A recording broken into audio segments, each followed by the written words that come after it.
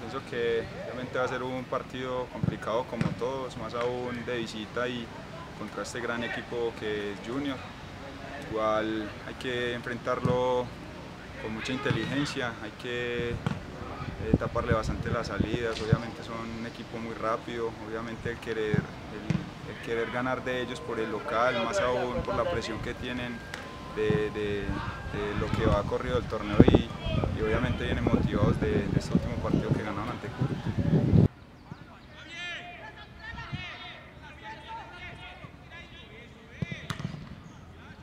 lo veo más como de pronto los equipos siempre van a querer enfrentar al, líder, siempre le van a querer ganar. Eso es lo, lo, que ven ellos. Nosotros obviamente motivados y lo difícil es mantenerlo, pero